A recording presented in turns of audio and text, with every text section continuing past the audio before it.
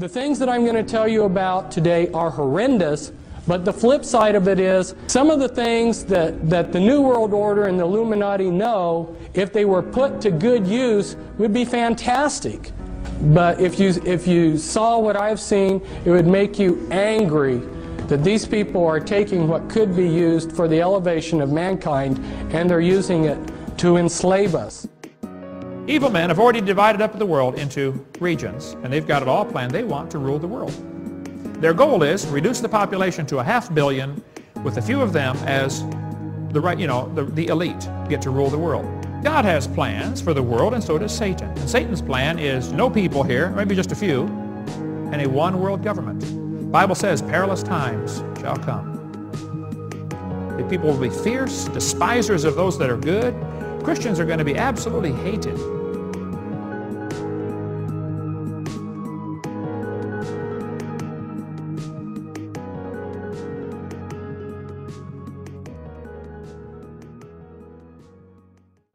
Task will be to develop an overall strategy for America in this period when really a new world order can be created. It's a great opportunity. It isn't just a crisis. We know the race is not to the swift, nor the battle to the strong. Do you not think an angel rides in the whirlwind and directs this storm? But I do have one question. During the crisis or any time that you're aware of, uh, has the Federal Reserve or Treasury participated in any gold swaps arrangements? Uh, we don't, the Federal Reserve does not own any gold at all. We have not owned gold since 1934. You fired me once again!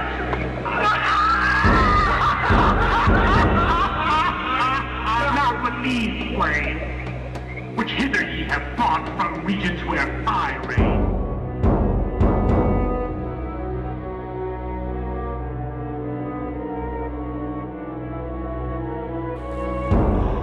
Which passages of Scripture should guide our public policy? Should we go with uh, Leviticus, which uh, suggests slavery is okay, that eating uh, shellfish is an abomination?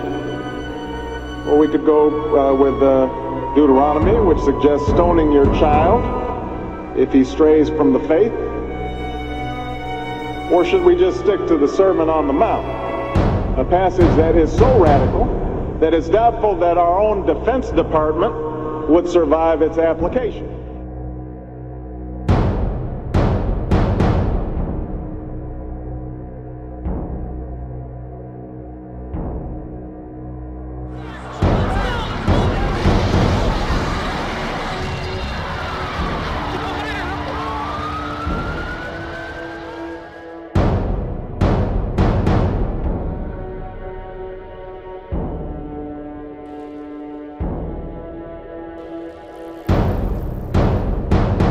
My readings have told me, for what it's worth, that some of us will be able to have ascended abilities. I mean, full on ascended abilities prior to the actual shift happening.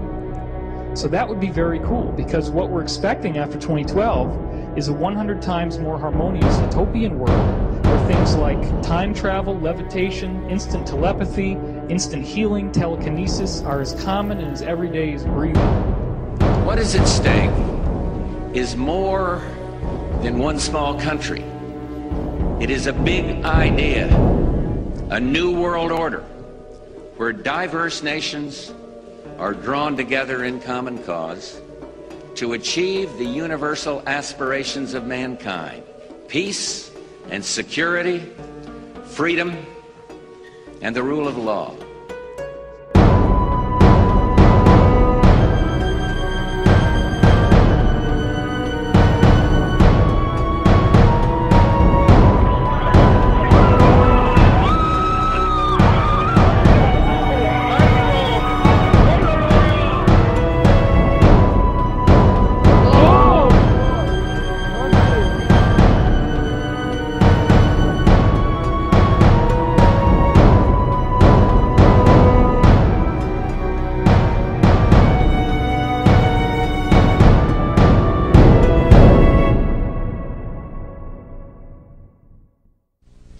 I want to tell you about a few of the things that I have learned during these last five years of intensive research. Perhaps the most startling thing that I can share with you is that all of the conspiracy theories that you've ever heard about one world government, about the UN takeover of the world, all of those conspiracies have now been laid to rest. There's nothing conspiratorial about it. It's all published. the UN-funded Commission on Global Governance began meeting in 1992 in earnest and met for four years and last fall released their final report. It is entitled Our Global Neighborhood. If the Bible is simply a book of myths, fairy tales, and stories, then it is disturbingly accurate in describing what we see unfolding in our current world climate. In my personal journey, I've come to the conclusion that the biblical worldview best explains the origin of evil and its many symptoms to mankind. It explains human suffering and the inescapable reality of death and decay that we experience in this world. But most importantly, it reveals why mankind has used deception as its most powerful and reliable instrument to carry out the plan set in motion by an ancient hate.